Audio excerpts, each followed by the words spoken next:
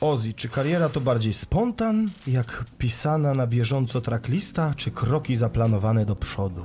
To jest to i to, bo kurwa jakby planuję to cały czas, ale tak jak to fałki e, nawinął, nawet kiedy nie wierzyłem, grałem w to, e, no nie zawsze kurwa wiedziałem, że to będzie, to będzie rzecz, której będę żył, którą będę żył tylko i wyłącznie, ale zawsze stawiałem te kroki tak, żeby coś z tego na końcu było, aż finalnie przyszedł taki dzień, kiedy uznałem, że ok, to jest to i już nie ma odwrotu. Kiedy to było? Co się takiego wydarzyło? A nie wiem, poczułem, że, że jestem dobry w tym. Nie zawsze to czułem, w sensie kiedy, jakby kurwa. Tak jak każdy chyba. A nie, nie umiem powiedzieć daty, kiedy to było. Po prostu się stało takie wydarzenie.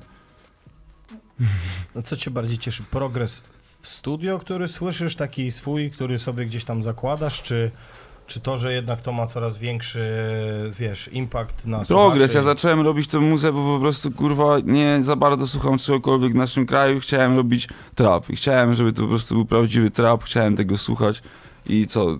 Im, im kurwa lepsze traki robię, tym też częściej sam ich słucham i o to mi chodziło.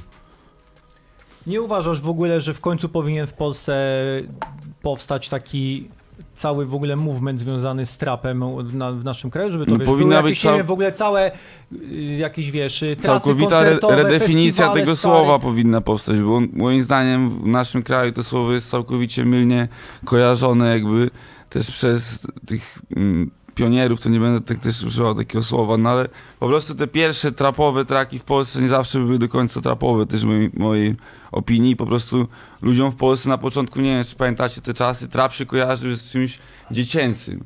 A nigdy mnie nie powiedział, że trap jest w ogóle dla dzieci, prawda? No Wy nie, pewnie no, też. To na pewno No nie. tak.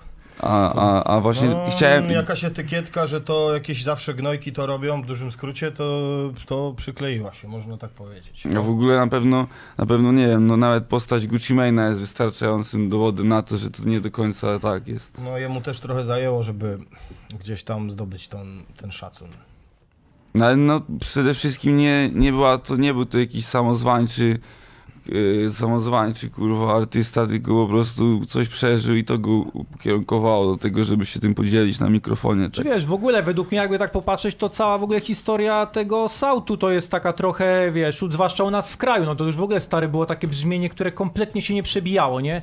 Gdzieś tam może trochę, wiesz, Luda Chris na przykład i tego typu takie No to osoby, jest to które już były jeden. bardzo, wiesz, yy, takie już bardzo poszły w ten cały mainstream i to bardziej też pewnie dzięki filmom i dzięki tego typu akcjom, jakimś tam zajebistym klipom.